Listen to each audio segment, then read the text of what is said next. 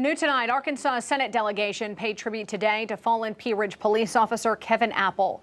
He was killed in the line of duty in late June, and today Senators John Boozman and Tom Cotton spoke on Officer Apple's service and his sacrifice to his community.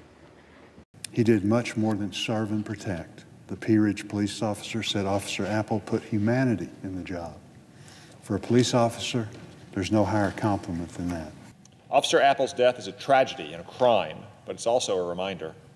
It's a reminder of the grave danger that police officers across the country face every day when they put on their bulletproof vest and leave home, not knowing whether they'll come home that night to take it off. Officer Apple served in Northwest Arkansas for 23 years, working at the Bethel Heights, Farmington, and Lowell police departments. He was with the Pea Ridge Department for almost three years.